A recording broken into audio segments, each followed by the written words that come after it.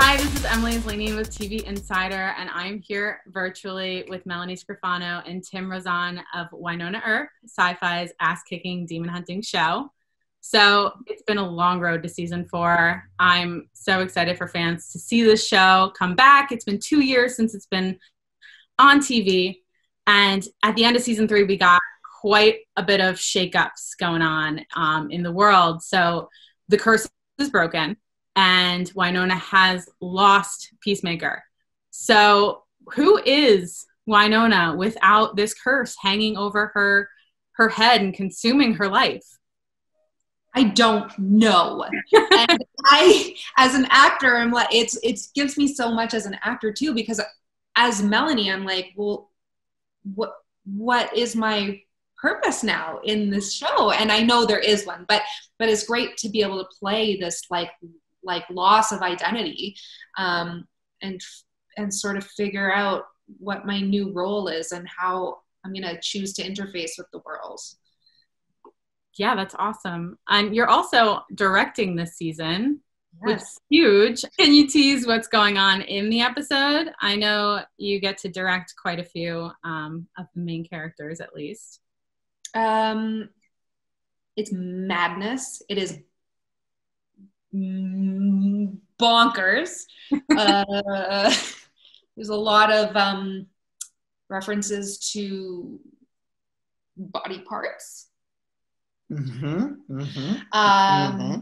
And I'm proud of that. Um, and yeah, it, and it's uh, it's just um, a a brave new world. All right, looking forward to it. Uh, now, Tim, last we saw Doc, he was headed in after Waverly into the Garden of Eden, which admittedly, seeing the press photos that have gone out so far does not exactly look very paradisey. Uh, what can you tease about what kind of danger he's going to run into there? Oh. um, yeah, again, I can't say too much. If you think Mel wasn't saying anything, I can't say anything. I'm the scariest cat in the universe. I'll say this: I love that we, when we last uh, left Doc, he was taking a step into the garden towards something new. And I think that's very important for that character to do from season three to season four. So I'm very excited for him to be taking this step into the new direction. Uh, whether or not it will be good for him uh, is to be determined. And just to backstep a second for Melanie directing, for my on my end, I think the proudest moment I've had on this show had nothing to do with me. It was this year watching her direct. Uh, it was an incredible uh, experience, and she killed it. And I was very proud of her uh, as her friend and uh, her co-star. It was uh, she's awesome. So it was great. Your two characters in particular have also had quite a bit of strife throughout the four seasons, or three seasons rather, and going into season four. I would say there's probably still some strife there. But will Doc's decision to go after Waverly kind of clean the slate a little bit, maybe for Wynonna? Hell yeah. Waverly is, uh, I mean, listen, Waverly is now without a curse, without sort of being the heir of anything. Um, Waverly is really the only thing she's got left because love is great, but who knows if it'll ever happen. But your family is forever. And so, um, so the fact that Doc goes in to, to get what's most precious to Wynonna is uh, definitely going to score a little, a little hand job for sure. Jeez, Louise. What are you guys most looking forward to fans seeing this year? I feel like the parallels between what's happening in purgatory and what hap- has happened in the real world mm. in terms of the pandemic there are some real parallels um, that i'm i can't wait to see if other people see it or if i just made it up but i'm excited to see people's reactions to the new circumstances interesting mm-hmm.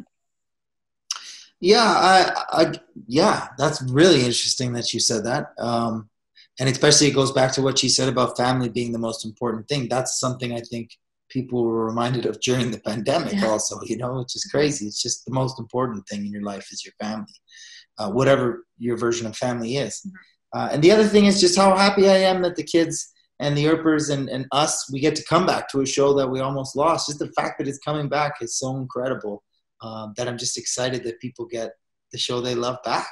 It's been such a long road to season four, and the fan base is just so crazy for the show. Um, billboards, just fan campaigns galore. What would you like to say to the Earpers who helped you get there um, right before season four premieres?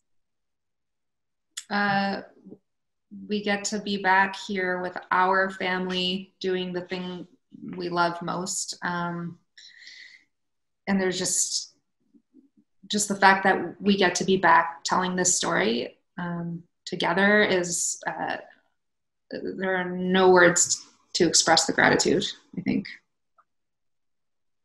Yeah. I mean you know just it's a it's thank you and I think everyone is so aware how lucky we are on all levels of production. And I think coming back, I could feel that um, from the writing to just the set designs and everything. This is the season that um, Earpers deserve. They deserve this season four. So I'm happy they get it. But also, like the fact that they gave it to like mm-hmm. we get to enjoy each other's company because of that and mm-hmm. then even crew came up to me recently and we're like there was somebody came up to me and they're like, I'm so happy the show's back because we just enjoy working on this show so much. It's the best show to work on. Um, so like, we just we are all not just the cast but like the crew like everybody who loves this show so much from behind the scenes is just so grateful that we get to do it again and it's it's just it wouldn't have happened without the Earpers. That's amazing. Thank you guys so much for hopping on virtually with me today from Calgary. Uh, Wynonna Earp season four premieres Sunday, July 26th at 10, 9 central on Syfy. Go check it out.